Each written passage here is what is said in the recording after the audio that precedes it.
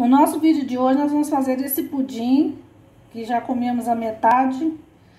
É, nesse pudim nós vamos, nós vamos utilizar leite, leite condensado, ovos e uma laranja. Só isso. Então vamos à receita. Nós vamos fazer um pudim de laranja. Aqui eu tenho três ovos, 200 ml de leite, e uma laranja que eu parti em quatro pedaços. Tirei o miolinho dela e tirei também as sementes. Para o pudim não ficar amargo, você vai tirar essa parte aqui da laranja e as sementes, tá? Vou acrescentar 395 gramas de leite condensado.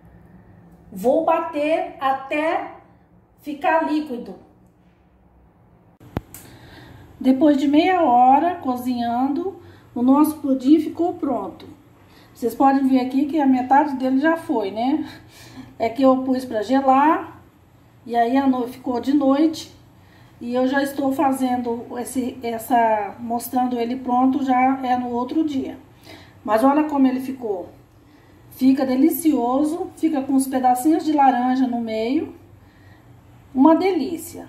Se você gostou do vídeo, deixe o seu like, se inscreva no nosso canal. Um abraço e até o nosso próximo vídeo.